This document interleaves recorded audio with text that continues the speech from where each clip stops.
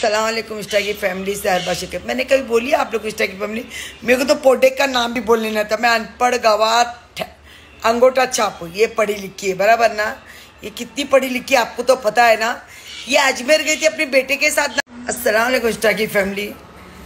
ये इंग्लिश की चौधरी को बोल रही मैं। सुनना, मैं क्या बोल रही तू? कि मैं जाहिल, बराबर ना?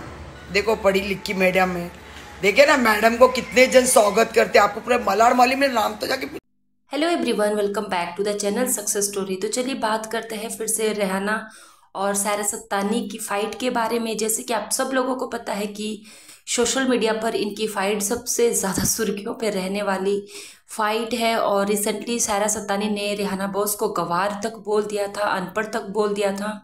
तो इसी बात का रिप्लाई जो है वो रिहाना खान बॉस ने करते हुए कहा है कि वो अनपढ़ नहीं है, गवार नहीं है, लेकिन सारा सत्तानी ही वैसी है क्योंकि उन्होंने जो इंस्टाग्राम के उनके व्यूअर्स हैं, उनको बताया कि मलाड में जहाँ पे वो रहती है एक एक लोग उसके बारे में जानते हैं, वो कितनी पढ़ी लिखी है और कितना वो एजुकेटेड है, सब चीज़ों के बारे में रिहाना खान बोस ने अपनी वीडियो में बताया। आपको उनकी फाइट कैसी लगती? मुझे तो ऐसा लगता है कि ये सब चीज़ें कंट्रोवर्सी क्रिएट करते हैं तो सिर्फ़ इसलिए करते हैं ताकि दोनों फ़ेमस रहे, दोनों सोशल मीडिया पर बने रहे, क्योंकि सोशल मीडिया एक ऐसा प्लेटफॉर्म है यहाँ पे खुद को बनाए रखने के लिए तो इज़्ज़त काम आती है या फिर आप यहाँ पे बेइज्जत होके भी फ़ेमस हो सकते हैं। तो इन्हीं चीज़ों का सहारा शायद ये दोनों ले रही है क्योंकि सारा सतानी और कंट्रोवर्सी तो काफ़ी जुड़ी हुई है, लेकिन रेहाना खान बॉस भी इसीलिए जानी जाती है जब और